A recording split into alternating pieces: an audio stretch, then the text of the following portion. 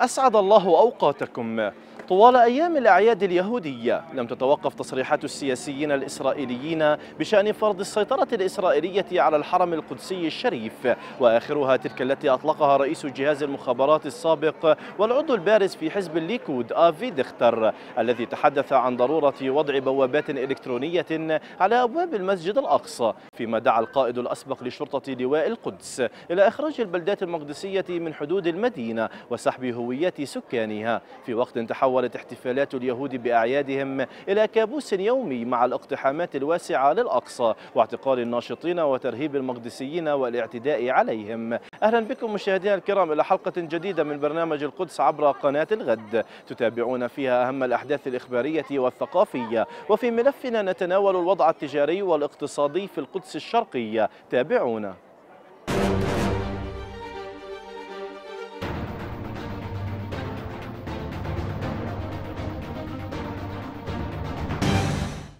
أهلا بكم.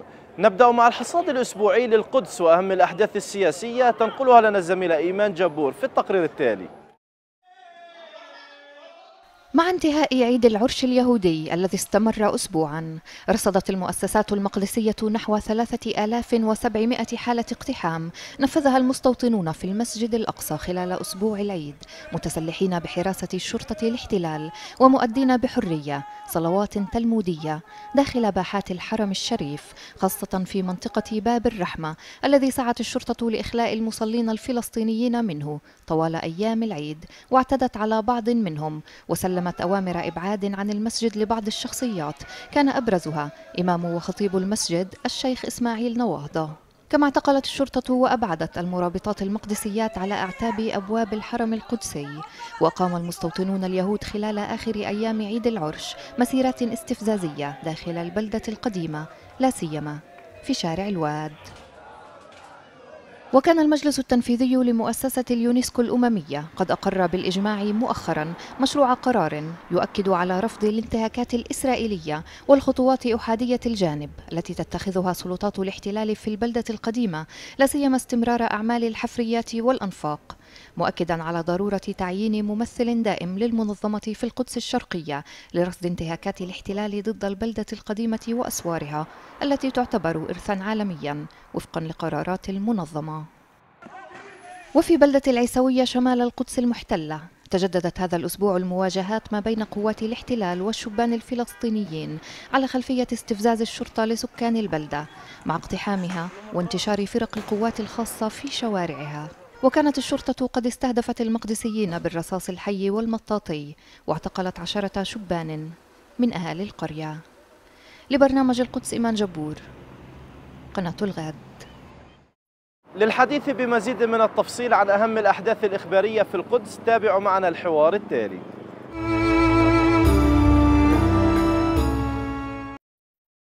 السفير أحمد الرويضي ممثل منظمة التعاون الإسلامي في فلسطين مرحبا بك. أهلا بك مرحبتين. قبل أيام أصدر المجلس التنفيذي لمنظمة اليونسكو قرارا آخر بشأن القدس وبشأن عدم قانونية إجراءات الاحتلال الإسرائيلي في البلدة القديمة وما حول الحرم القدسي. آه، ما هي أهمية هذا القرار وما هي بنوده باختصار؟ القدس تم تسجيلها في العام 1982 بطلب من المملكة الأردنية الهاشمية.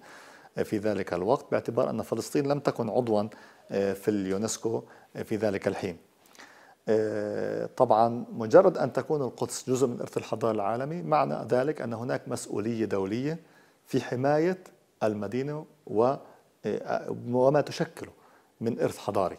وهنا نتحدث بشكل خاص عن المقدسات الإسلامية والمسيحية.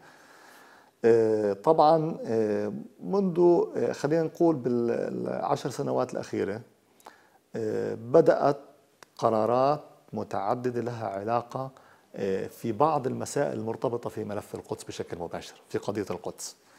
وتجلى ذلك قبل سبع سنوات. كان هناك قرار بإرسال لجنة تحقيق إلى مدينة القدس من اليونسكو للتحقيق بالاعتداء على الإرث الحضاري في هذه المدينة. وفي يوم الزيارة أعلنت إسرائيل عن رفضها استق...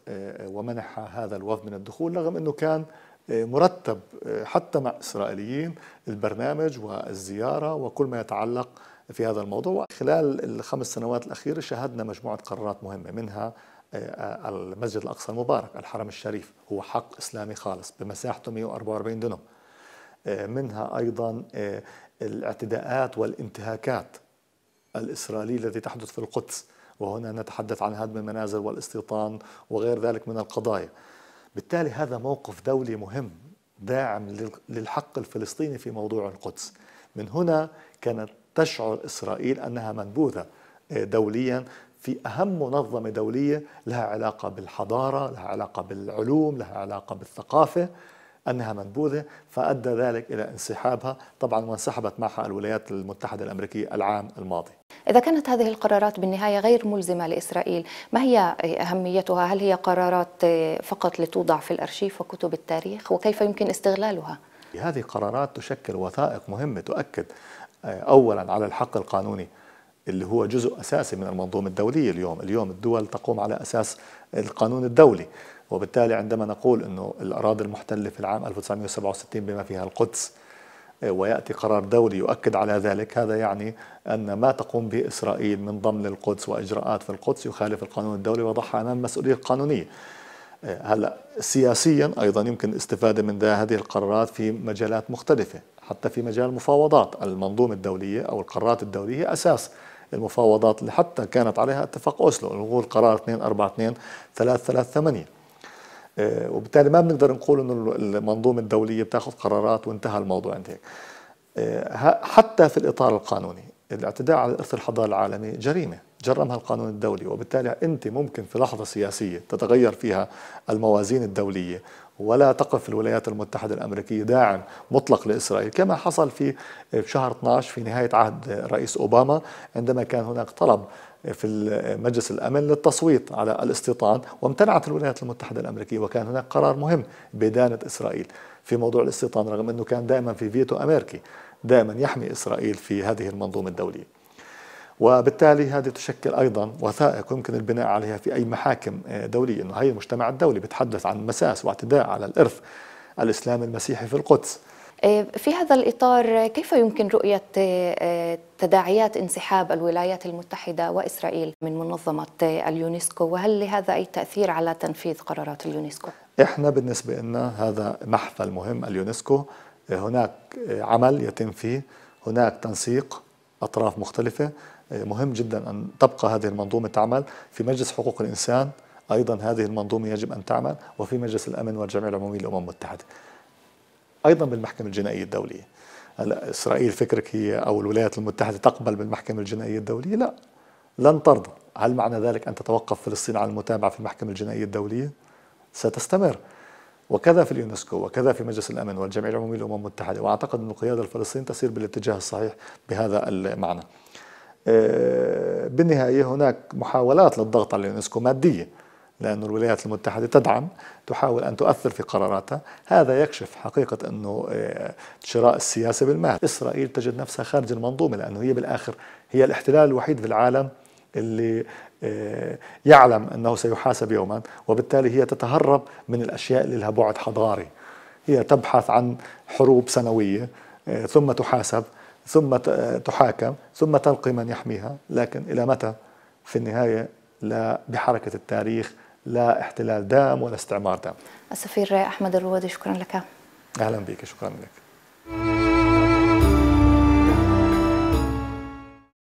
فرصة للرياديات المقدسيات. يوفرها بازار أقيم في مدينة القدس لدعم المشاريع الصغيرة والترويج لمنتجات نساء تنوعت ما بين الأشغال اليدوية والهدايا والأطعمة الفلسطينية بدعم مؤسساتي. أتاح على مدار يومين للجمهور المقدسي التعرف إلى مشاريع تكفل توفير دخل مادي لبعض النساء المقدسيات ولعائلاتهن. التفاصيل مع الزميلة راما يوسف. تحول بازار فرصة ريادية في مدينة القدس لعرس شعبي فلسطيني بتواجد أعداد كبيرة من الزائرين والمشاركين على حد سواء.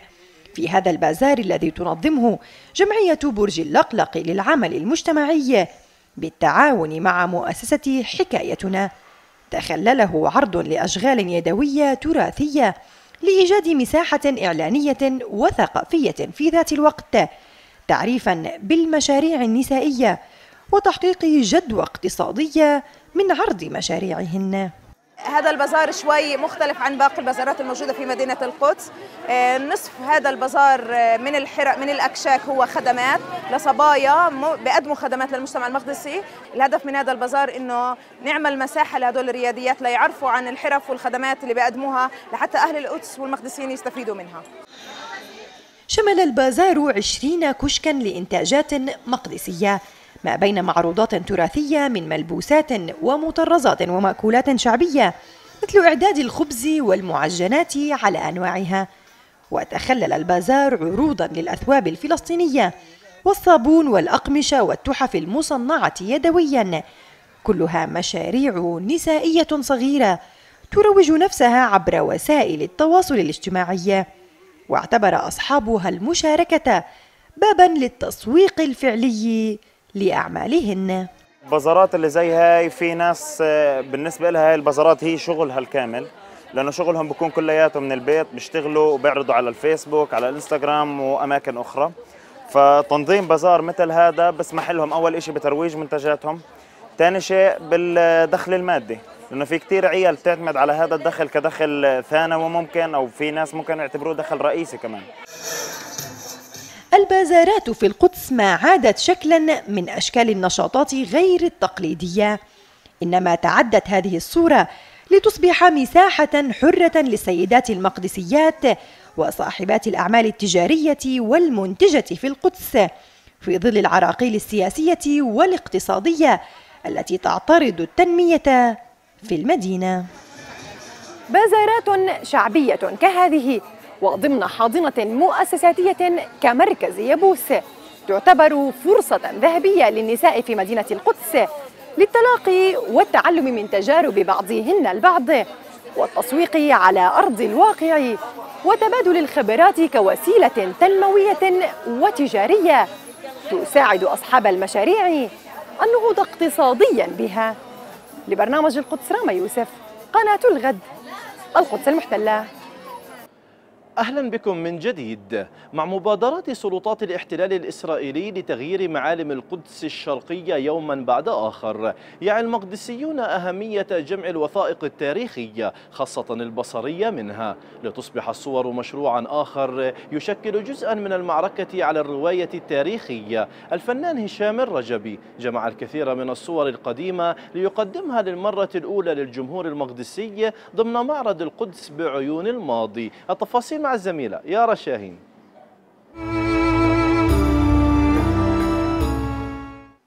معرض يقام بين أسوار البلدة القديمة في جمعية برج اللقلق المجتمعية بعنوان القدس بعيون الماضي ويوثق هشام الرجبي من خلال هذا المعرض معالم القدس القديمة. نتابع المزيد في التقرير التالي.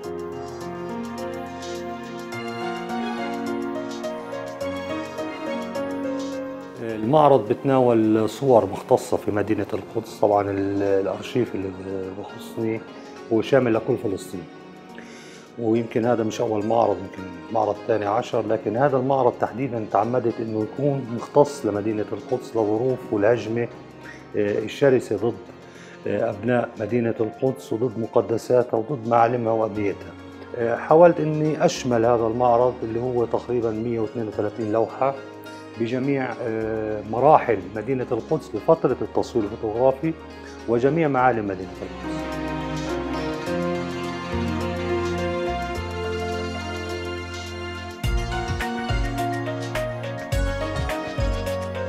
أنا مقدسي مواليد مدينة القدس وابن أحياء وحواري القدس وعشت لمدينة القدس لتاريخ مدينة القدس من الطفولة ممكن مسألة التوثيق والصورة يعني يمكن قبل هيك كان اهتمامي في التاريخ المقدسي لكن التوثيق والصورة إنه هي كانت في نوع من أنواع الدهشة. في أول صورة صور مبكرة وجدتها لمدينة القدس أو لفلسطين. وبدأت أبحث. هلأ المصادر بالعادة هي مصادر أجنبية. إحنا ما عندنا مصدر عربي. اهتم في هاي المادة. وللأسف الشديد ما كانش في عندنا اهتمام لقيمة الصورة. الصورة هي رسالة. وهي دعاية واستخدموها الأوروبيين لتسويق فكره أرض بلا شعب لأنه أغلب الصور فارغة من السكان نتيجة له تقنيه الصورة. استخدموها لإسقاط أسماء توراتية على معالم كثير من مدينة القدس المصورين المبكرين اللي حضروا هون. الصورة هي ثقافة هي رسالة وهي محرض بنفس الوقت وهي ممكن تخلق وعي جديد لأي آه، جيل كان في هذيك المرحلة. لكن إحنا يمكن نتيجة ظروفنا ونتيجة وجودنا تحت حكم الدولة العثمانية نهاية الفترة العثمانية اللي كانت ضعيفة ما كانش عندنا هذا الاهتمام أو هذا التركيز. على هذا الأساس بدأت اللي هو جمع هذه المجموعات من الأرشيف. هذه المجموعات بتحكي عن تقريبا 25 سنة يعني ما إجت بيوم وليلة ممكن عن طريق آه، أصدقاء ممكن عن طريق باحثين كتاب مؤسسات. آه، أحيانا كان الإنترنت برضه في يعني مجموعات محددة. آه، استخدمتها من الإنترنت نتيجة فقدانها في مصادر ثانية وحتى وصلت لمجموعة ضخمة جدا الحمد لله رب العالمين.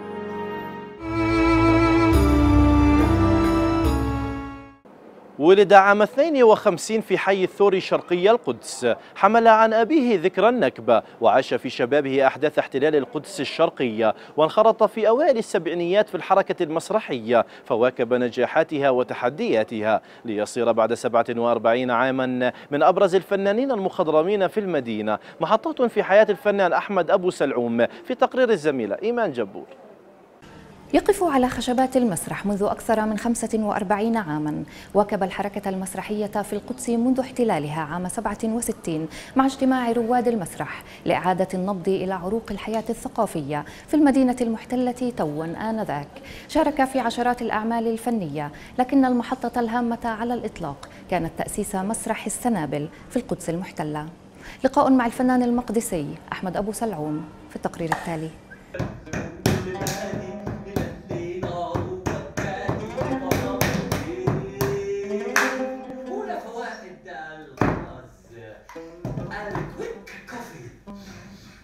أنا آه، انولدت لعائلة آه، يعني متوسطة الحال في سقيفة في حي الثوري وهو حي ملاصق لسور القدس القديمة الجنوبي.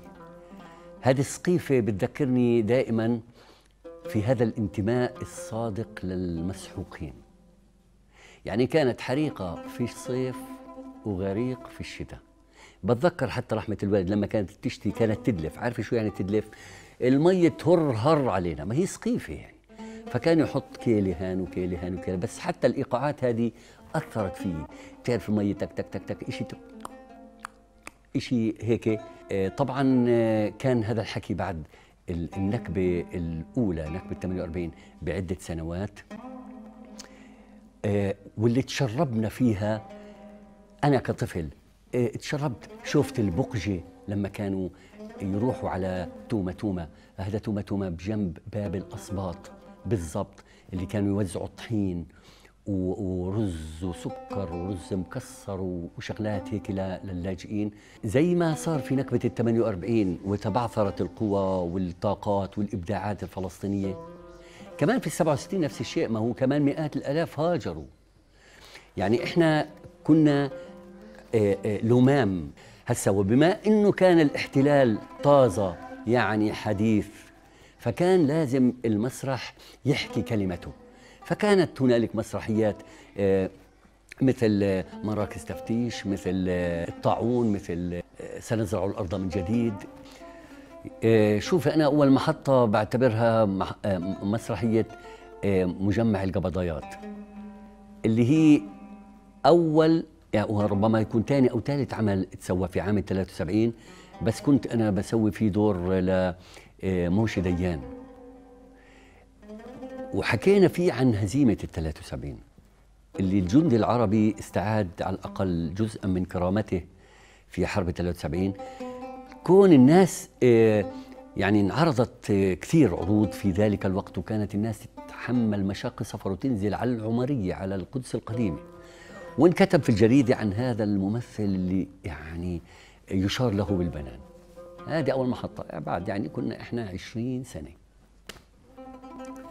المحطة الثانية في عام 77 قدمنا مسرحية اسمها الطاعون. الحقيقة إنها من المسرحيات اللي بتنعد من المسرحيات الفلسطينية اللي يشار لها بالبنان. أيضا مع فرقة المسرح الفلسطيني اللي أنا واحد من مؤسسيه أيضا. المحطة الثالثة هي الإنسان قضية المأخوذة عن رائعة الشهيد غسان كنفاني اللي هي عائد إلى حيفا. عرضناها في السينما الحمراء ما كانش في مسارح عندنا في السينما الحمراء على بعد مئات الأمتار من أو 200 متر مش أكثر ومن كثر الحشود تم عرضها عرضين في اليوم وتم إغلاق شارع صلاح الدين وصبحت الجرائد العبرية تكتب إنه مخربين بيسووا مسرحية لمخرب إرهابي. آه، في في نص القدس. و و و. بعدها صار في اعتقالات وصار في ما عليك. بعدين عرضنا في بلد اسمها كابول وتم تطويق المبنى الذي كنا نعرض فيه برجال البوليس ومن ثم اقتادوني إلى مخفر البوليس وصار لمحكمة وحكمت بخمسين ليرة في ذلك الوقت. طبعا يعني صار في تحقيقات إنه أنا بحكي له قصة إنسانية واحدة بتنسى ابنها بدل ما تحمل ابنها بتحمله مخدة في في الحرب. يعني هيك مشت الأمور. هذه محطة مهمة جدا يعني. هسا بنقدر نقول إنه النقلة كمان الرابعة في تأسيس مسرح المسرح الشعبي سنابل. بعد سياسة القبضة الحديدية اللي اتخذها اليمين الإسرائيلي بقيادة مناحم بيجن عام 80 صار في تشديد كثير على على القاعات. بطلنا قادرين نعرض في القدس بشكل أو بآخر ولا حتى في في الضفة الغربية ولا حتى في غزة. فكان لازم الواحد يكون يعني حذر أكثر. تأسس المسرح الشعبي سنابل عام 1984 طبعا اسسته أنا ومجموعة من الزملاء الفنانين إلى أن قدمنا عام 87 مسرحية ناطرين فرج وهي مأخوذة عن آه، مسرحية اسمها ووزا ألبرت اصحى يا ألبرت. هذا اللي حرق هويته العنصرية تبعت جنوب إفريقيا وثار على النظام العنصري في جنوب إفريقيا. هذا الكلام كان في 18 10 1987 يعني وكأننا كنا نبشر بأن هناك انتفاضة. حاليا أعمل مع المسرح الوطني بحكم هذه الشراكة اللي إحنا بيناتنا يعني في مسرحية لم تسمى بعد لكنها تتحدث وبمنتهى الحلاوة والقسوة عن كيف الإنسان عماله بفقد إنسانيته. في عنا عمل أيضا قريبا جدا لربما في أوائل العام القادم آه، مأخوذ عن الكاتب آه، آه، زكريا تامر أعتقد اسمه النمور في اليوم العاشر. كيف النمر لما بتدجن في اليوم العاشر بصير يوكل بقدونس. في آه، مونودراما الحارس اللي بتحكي برضه عن القدس وهي آه، تمثيلي أنا وأخذت عليها جائزة أحسن ممثل في مهرجان مسرحي آه، في عكا. بحاجة لحب حقيقي. آلاف القطع الأثرية والتراثية تصطف جنبا إلى جنب داخل متحف التراث الفلسطيني في جمعية دار الطفل. بعضها مقتنيات شخصية تعود لمقدسيين استشهدوا عام 48 وبعضها تبرعت به عائلات مقدسية لدعم مبادرة هند الحسيني التي بدأت بجمع هذه المقتنيات في مطلع الستينيات. المزيد في العرض التالي من إعداد الباحث روبين أبو شمسي في حي الحسينية. أو الجزء الجنوبي من حي الشيخ جراح في خارج مدينة القدس أو خارج البلدة القديمة من منطقة الشمال يربض عدة مباني تعود إلى القرن التاسع عشر. واحد من هذه المباني المشهورة جدا هو مبنى سليم أفندي الحسيني. هذا الشخص بنى آه، البناية تقريبا بداية بعام 1882 ميلادية ثم عاد وتوقف عن بنائها ليكملها ويتم البناء تماما عام 1889 البناء بقي سكنا له ولعائلته والتصق البناء بعد أن كان أربع غرف. امتد ليكون ستة غرف في الطابق الأول وسبع غرف في الطابق الثاني ليلتصق بمبنى صديقه العزيز وزميله العزيز وأيضا صهره وهو الشيخ طاهر الحسيني والد هند الحسيني ليصبح المبنى مبنى متكاملا ويصبح مكانا للسكن لعائلة الحسيني. بيت سليم أفندي الحسيني تحول إلى متحف أول الأمر عام 1962 ثم أغلق في فترات بداية السبعينات ليعود ويتم افتتاحه عام 1978 أيضا في فترة الانتفاضة أعيد إغلاقه لأسباب سياسية وأسباب أخرى ليعاد افتتاحه عمليا في الشهر الخامس من عام 2012 ميلادية. المتحف كمتحف يشرف عليه عدة رجالات ونساء من أصحاب القامة الثقافية في مدينة القدس. المتحف طبعا يضم عدة مجموعات. المجموعة الأكثر شهرة هي مجموعة الأثواب الفلسطينية التي يتم عرضها والشرح عنها بشكل كامل ومتكامل. ثم أيضا بعض نتاجات الآلية التقنية مثل ماكينات الخياطة والكثير من الآلات التي كانت مستمدة من واقع التراث الفلسطيني بالتعاون مع مفهوم التحضر الأوروبي بالإضافة إلى حروف الطباعة المصفوفة وأيضا الكثير من مخلفات ونواتج الحفريات الأثرية وفي القرى المهجرة وفي منطقة القدس. هذه المجموعات طبعا مجموعات مهمة جدا في إبراز واقع التراث الفلسطيني أصالته وبقاؤه حيا في الذاكرة الفلسطينية ليكون بقعة ضوء يظهر منها التحضر الفلسطيني قبل مجيء الاحتلال الإسرائيلي وهيمنته وأسرلته لكل ما هو موجود في المدينة المقدسة.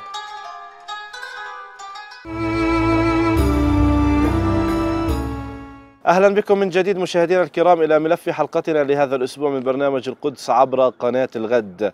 الأوضاع التجارية والإقتصادية في القدس الشرقية تتجه من سيء إلى أسوأ مع استمرار تطبيق السياسات الإسرائيلية من جهة وضعف الدعم العربي والفلسطيني للمدينة من جهة أخرى. عشرات المحال التجارية في البلدة القديمة أغلقت أبوابها وأخرى ينتظرها مستقبل مجهول مع تراكم الضرائب على أصحابها وملاحقتهم من قبل سلطات الاحتلال الإسرائيلي. هل هنالك أفق للعمل على تطوير الوضع التجاري في ظل الوضع السائد حاليا؟ وما هو الدور المطلوب من المؤسسات ذات العلاقة؟ الحديث في هذا الموضوع أرحب بضيفي بداية السيد حجازي الرشق رئيس لجنة تجار القدس أهلا بك. وأيضا أرحب بالسيد لؤي الحسيني مدير الغرفة التجارية الصناعية العربية والقدس. أهلا بك أيضا. وقبل البدء بالحوار مشاهدينا الكرام مع ضيفي دعونا نشاهد هذا التقرير من إعداد الزميلة ياسمين أسعد ثم نعود. لم يعد يقوى الحاج ظاهر الشربات وكما جرت العادة على فتح محله التجاري القابع في سوق اللحامين داخل أسوار البلدة القديمة في القدس. فبعد أن عرف ولعشرات الأعوام عنوانا للسوق أجبر كغيره من التجار على قطع مصدر رزقه بيده وإغلاق ملحمته بشكل دائم بعد أن أثقلت سلطات الاحتلال كاهله بالضرائب الباهظة وأنهكته بمبالغ طائلة تفرضها على مئة تاجر في السوق مقابل استيفاء الشروط التعجيزية لاستصدار تراخيص العمل والمتجر. 1975 استلمت المحل وكنا نشتغل ومبسوطين ومستفيدين. السوق اتدمر. صاروا يتخالفوا على أرمة محل. صاروا يتخالفوا على سيجارة إذا جوات المحل. صاروا يتخالفوا على إجوا فرضوا علينا للماكينات للحمة. 6000 شيكل حق الماكينة قال هذه ثلاجة سبعون محلا تجاريا أوصده أصحابه في سوق اللحامين لوحده. وهي جزء من نحو 350 محلا. أغلق حتى مطلع العام الحالي في الأسواق التاريخية لا سيما سوقي الخواجات والعطارين ما ينذر وفق المختصين بانهيار غير مسبوق للاقتصاد الفلسطيني والعديد من الحرف التقليدية في العاصمة نتيجة لسياسات الاحتلال الممنهجة ضد التجار المقدسيين والرامية لتهجيرهم واستبدال محلاتهم ببؤر استيطانية. الوضع اللي فهموه تجار البلدة القديمة أنه أسعارهم حتى وإن كان عليهم ضرائب كثيرة لازم أنها تكون موازية للأسعار خارج البلد القديمة. اليوم يمكن إضافة تحسينات إلى الأسواق الداخلية بإضفاء أجواء حتى آه، تراثية إلى المحلات. وإلى مداخل الأسواق بحيث إنه مداخل الأسواق هي تكون الجاذبة جدا للسائح إنه يدخل هذا الأسواق. تجار البلدة القديمة أوضحوا أن اقتصاد المدينة شهد حالة من التراجع المضطرد عقب الانتفاضة الأولى عام 87 إلا أن إقامة الجدار العنصري والحواجز وجهت ضربة القاضية لهم بعد أن حال بين القدس وأكثر من 150 ألف مقدسي يقبعون خلفه وحرم نحو أربعة ملايين من الضفة وغزة من بلوغها إلا بتصاريح متقطرة. مؤكدين ارتكاز البيع اليوم على أبناء المدينة فقط. تلفظ أسواق القدس أنفاسها الأخيرة فأهم الحوانيت التاريخية باتت لا تتردد للحظة بأن تغلق أبوابها وتنسى كأنها لم تكن بلا عودة. لتمسي هذه الأقفال عنوانا صريحا لاقتصاد متدهور يضمد جراحه فقط تجار مكبلون بسياسة الإفقار. نعم تجار تركوا لوحدهم دون نجدة لبرنامج القدس ياسمين أسعد قناة الغد القدس المحتلة. بعد مشاهدة هذا التقرير من جديد مشاهدينا الكرام لمناقشة هذا الموضوع أرحب بضيفي السيد حجازي الرشق رئيس لجنة تجار القدس وأيضا أرحب بالسيد لؤي الحسيني مدير الغرفة التجارية الصناعية العربية بالقدس. أهلا بكما نبدأ معك سيد الرشق. كيف تصف الوضع الحالي آه، لاقتصاد مدينة القدس وللتجارة في مدينة القدس وأيضا الوضع المزري لتجار البلدة القديمة يعني حقيقة الوضع الاقتصادي والوضع التجاري بشكل خاص آه، من أسوأ إلى أسوأ ويمر بظروف لم يمر بها منذ عام 67 وحتى اليوم. وخاصة آه، هذه الظروف آه، ساءت أكثر فأكثر آه، بعد قرار ترامب بضم القدس واعتبارها كما ادعى عاصمة لدولة إسرائيل. حقيقة مدينة القدس هي عبارة عن سجن يحيط آه، خمسة آه، أبواب اللي هي المعابر المعروفة للجميع وهذا السجن هو سجن كبير لا يدخله آه، ايا كان أو يخرج منه ايا كان صحيح. وبالتالي يمنع على الفلسطينيين من كافة المدن والقرى الفلسطينية من الوصول إلى مدينة القدس صحيح. ويمنع حتى على العائلات بينها بعضها البعض من الوصول إلى والتواصل والوصول إلى مدينة القدس. الوضع التجاري يتدهور يوم بعد يوم بسبب آه، لعدة أسباب يعني السبب الرئيسي هو الإجراءات الإسرائيلية اليومية بل اللحظية في آه، الشارع المقدسي بشكل خاص آه، يعني للأسف الشديد إنه هذا هذا الوضع يزداد سوءا يوم بعد يوم بسبب هذه الإجراءات طيب. يعني صحيح أنت تتحدث بشكل رئيسي عن الإجراءات الإسرائيلية. دعني أسأل السيد آه، لؤي آه، الحسين أستاذ لؤي كيف يعني تسعى إسرائيل إلى آه، إضعاف القوة الشرعية في القدس؟ وكما قال السيد حجازي الرشق منع وصول الفلسطينيين عبر البوابات والحواجز إلى القدس. يعني هذا أحد الأمثلة. وأيضا تسعى إسرائيل دائما إلى إغلاق محال تجارية وإحلال المستوطنين والجمعيات الاستيطانية مكانها. كيف تعمل إسرائيل على ذلك؟ آه، الحقيقة آه، تأكيد أن الوضع الاقتصادي بيزداد سوء عن يوم, يوم عن يوم. آه، فمن ناحية القوة الشرائية مجموعة من الناس تزور القدس. يعني أهلنا من ال 48 أصعب صاروا يجوا بسبب الحواجز الإسرائيلية. إن كان في الطريق أو على مداخل المدن نفس الشيء أهلنا بالضفة الغربية أصعب وأصعب يجوا. نفس الشيء على مداخل القدس وداخل المدينة والحواجز. فالحواجز الإسرائيلية حتى لأهل القدس أصعب. يعني بين فترة والتانية بسكر الاحتلال بوابات المدينة المقدسة الشبان بتعرضوا للتفتيش على المداخل المدينة وداخل أزقة المدينة. فهذا كله بيؤدي إلى إضعاف القوة الشرائية حتى من ناحية السياح.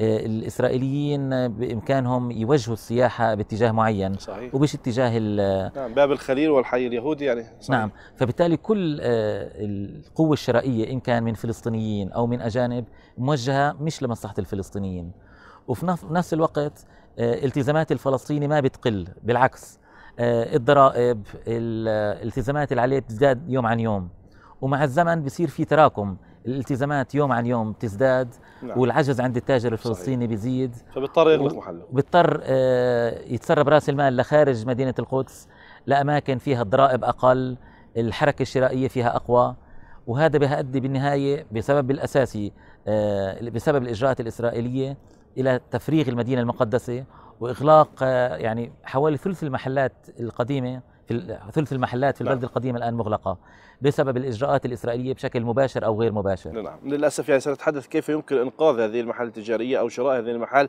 من قبل رجال أعمال أو حتى من السلطة الوطنية الفلسطينيه وهذه التدخلات، لكن قبل ذلك أستاذ حجازي كان يعني الآن في الآونة الأخيرة واضح بشكل جلي أن الاحتلال الإسرائيلي يأخذ السياحة الوافدة والسياحة الأجنبية التي تأتي إلى القدس يأخذها بطريق يمر بباب الخليل ويمر بحارة اليهود والمراكز التجارية الإسرائيلية هنالك. وأنت تعرف يعني المجمع التجاري الكبير في منطقة باب الخليل وصولا إلى حائط البراق ويعودون من حيث أتوا دون الذهاب إلى شارع صلاح الدين ودون الذهاب إلى شارع الواد. يعني أنا علشان أوضح بالنقطة فضل. هذه بالذات وأعطي تفاصيل أكثر حقيقة أنه برنامج الأفواج السياحية اللي بيأتوا لفلسطين بشكل عام نعم. يتم تخصيص آخر يوم لهم في لزيارة مدينة القدس. نعم. فالبرنامج من قبل الشركات السياحية الإسرائيلية إنه لمدة أسبوع أو خمسة أيام فبتبدأ الرحلة رحلات الأفواج السياحية مناطق الساحل تل أبيب يافا طبرية الناصرة آه، بيسان البحر الميت وآخر يوم بيجيبوهم على مدينة القدس هذا من ناحية إنه بيكون السائح قد استنزف نعم. آه، آه، استنزف يعني ماليا لم لم يبقى نعم. معه شيء هذا اولا ثانيا حتى لو حضروا إلى مدينة القدس آه، ممكن إنهم يحضروا في أوقات يعني يقول لهم إنه إحنا آه، زيارة مدينة القدس على أساس نتجنب الزحمة من الساعة السادسة صباحا وحتى الثامنة مساء أو من السابعة حتى التاسعة صباحا من السابعة صباحا وحتى السابعة التاسعة صباحا. قبل أن تفتح يعني قبل ما تفتح المحلات. آه، هناك نقطة أهم آه، وأخطر من من من من هذا الوضع ومن هذا التخطيط إنه آه، يعني للأسف الشديد إنه هناك بعض الأدلاء السياحيين وبعض الشركات السياحية تقوم بتحذير الأفواج السياحية من التعامل مع المحلات العربية واصفة لهم الأوصاف صحيح. غير أخلاقية غير يعني. أخلاقية آه، لا تشتروا منهم الذهب ممكن أن يكون مطلي نعم. ومقلد. الأيقونات آه، مش حقيقية. التحف مش طبيعية. هذه هذه الإجراءات يعني هذه آه، كمان إنه تساعد على إبعاد السائح عن نعم. التجار العرب. يبعد يبعد السائح يعني في سياح بينزلوا للبلدة القديمة لا يتوقفوا بأي محل على الإطلاق. حتى لو وقفوا باب محل يقوم الدليل السياحي إنه بإيعازهم للتحرك. نعم. طبعا هم بيركزوا على على التركيز على توجيه الأفواج السياحية إلى سوق كاردو اللي موجود في حي الشرف. حضرتك قلت طبعا. على حارة اليهود هي حقيقة اسمها حي الشرف. آه، بيوجه الأفواج السياحية إلى آه، سوق كاردو. هذا طبعا هذا سوق إسرائيلي. وللأسف الشديد إنه هذا السوق عماله ببيع التحف الشرقية الفولكلورية التراثية الفلسطينية. تحت أسماء إسرائيلية نعم. هذه من أهم الأسباب اللي نعم. تضعف الحركة طيب. السياحية في البلد نعم يعني هنالك موسم سياحي دائما معروف في هذه الفترة في مدينة القدس وهنالك نتحدث عن مئات الآلاف بل ربما ملايين من السياح الذين يصلون إلى مدينة القدس كيف يمكن استغلال الموسم السياحي أستاذ لؤي من أجل دعم التاجر المقدسي آه، بيجي على القدس آه، بشكل عام حاليا فوق الثلاث ملايين سايح لكن تجارنا ما بيستفيدوا منها بالدرجة المطلوبة. زي ما حكينا لسبب توجيه السياحة الإسرائيلية للمحلات الإسرائيلية. آه، كمثال عشان أوضح فكرتي آه، التاجر السايح اللي بيجي من دولة مثل تركيا بيقضي ثلاث أيام ونص في البلد. مقابل السايح الأمريكي بيقضي 12.9 يوم في البلد. آه، وبنفق السايح مثلا التركي حوالي 780 دولار في إقامته. في مقابل السائح الأمريكي بيصرف حوالي 2000 دولار. فبالتالي السؤال وين بيصرف المصاري هذا؟ اللي بيجي بي في بيستثمرها بالقدس أو بيصرفها بالقدس. التاجر الفلسطيني ما بيستفيد منها. بالحد الأدنى بيستفيد في في الفنادق لكن ما في استفادة من النواحي الثانية من ناحية النقل من ناحية آه، الوسائل الترفيهية أو آه، السنتواري الأماكن السياحية. نعم. الاستفادة الأكبر ما بتكون للتاجر الفلسطيني. فنحن لازم نقدم منتوج آه، له هوية فلسطينية. آه، إن كان في منتجات سياحية أو في مقاصد سياحية مسارات سياحية. وزي ما حكى أخي أبو أسامة لازم نعطي مصداقية أكثر للتاجر الفلسطيني عن طريق عرض الأسعار معاملة أفضل معهم. فبنحتاج نشتغل على حالنا أكثر من هيك نعم. كمان. بالإضافة في إجراءات إسرائيلية هي الأساس. لكن برضه نحن داخليا لازم نرتب حالنا نعم. أكثر من سيد حجازي ربما أكثر ما يقلقكم ويقلق المقدسيين ويقلق القيادات الفلسطينية هو موضوع المزيد من إغلاقات المحال التجارية في البلدة القديمة. ويعني الإحصائيات تتحدث عن إغلاق العديد من المحال التجارية ربما لأسباب كثيرة على رأسها ما يعرف بضريبة الأرنونة وعدم مقدرة التاجر على يعني سد هذه الضريبة. كيف يمكن الحفاظ على هذه المحال التجارية؟ الآن الجمعيات الاستيطانية تحاول أن تسيطر على هذه المحال. يعني أنا خلينا أوضح بالنسبة إكمالا لموضوع الأفواج السياحية نعم. إنه إحنا الموسم السياحي. نعم الموسم السياحي. إحنا حقيقة قمنا بعمل دراسة وإحصائية في البلدة القديمة وفي مدينة القدس بشكل عام. آه، تبين آه، من ضمن هذه الإحصائية أن السائح من الدول الغربية آه، ما ينفقه في مدينة القدس هو خمس دولارات مقابل خمس دولارات 95 دولار في الأماكن الإسرائيلية. خمسة دولارات السائح الأجنبي بينفقها في مدينة القدس مقابل 95 دولار. 5% 5% طبعا من هذا هاي هاي القضية طبعا هاي قضية يعني علما إنه القدس هي مدينة أثرية تتمتع بالصفة الدينية المسيحية والإسلامية واليهودية وبالتالي هذا يعني كارثة نسبة كارثية بالنسبة للتجار. آه، بالنسبة لموضوع المحلات المغلقة إحنا قمنا بدراسة أيضا وعملية إحصائية للمحلات المغلقة على سبيل المثال في العام 2017 كانت نسبة المحلات المغلقة 300 و14 محل. آه، في 2018 ارتفعت إلى 354 محل ارتفعت ارتفع 354 من أصل 317 نسبة 17% ارتفعت. نعم يعني المجموع الكلي للمحلات التجارية كم؟ المحلات التجارية المغلقة تعديلا لاخونا اللي ذكره أخونا لؤي هي المحلات مجموع المحلات المغلقة هي 354 محل. من أصل 1400 1372 محل. تقريبا يعني البلده القديمة تحتوي في أسواقها في حاراتها على 1372 محل آه، مغلق منها لغاية لغاية آه، بداية عام 1900 2019 نعم. مغلق منها 354 آه، محل. في سنة واحدة ارتفعت 17 17% نسبة لا, لا, لا هذا دلائل خطيرة. هذه طبعا مؤشرات خطيرة. هذه طبعا ال 17% طبعا آه، بسبب الإجراءات إنه آه، سلطات الاحتلال كافة مؤسساتها الصحية والضرائبية والبلدية قاموا باقتحام آه، سوق باب حطة وبالتالي أغلق العديد من من هذه المحلات بسبب حسب ادعائهم بحسب عدم وجود مطابقة المواصفات وما شابه ذلك. وهذه كلها تهم ملفقة إلى أصحاب المحلات والمحلات بريئة من هذه التهم. طبعا ارتفعت النسبة إلى 354 354 محل وهذا طبعا للأسف الشديد آه، يعني لا يوجد هناك خطة مضادة لهذه الممارسات يعني القدس القطاع التجاري في مدينة القدس ينقص خطة عملية خطة استراتيجية اولا لإنعاش الوضع الاقتصادي نعم. للحد من إغلاق هذه المحلات وثالثا لتشجيع القوة الشرائية للتوجه إلى مدينة القدس والشراء منها طيب. هذه هي الخطة المطلوبة لمدينة صحيح. وأهم أهم خطة يجب وضعها هي دعم مقومات صمود التاجر في هذه المدينة. يعني ربما هذا هذا من أبرز مسؤوليات يعني غرفة التجارة والصناعة في مدينة القدس. ما الذي تنفذونه من هذه الخطط؟ والتاجر بحاجة إلى الكثير الكثير الكثير. كم تلبون من احتياجات التاجر المقدسي؟ إيه، وعلى رأسها الدعم الاقتصادي. آه، الوضع في البلد بشكل عام سيء. وبيتجه للأسوأ والحاجة بتزداد يوم عن يوم.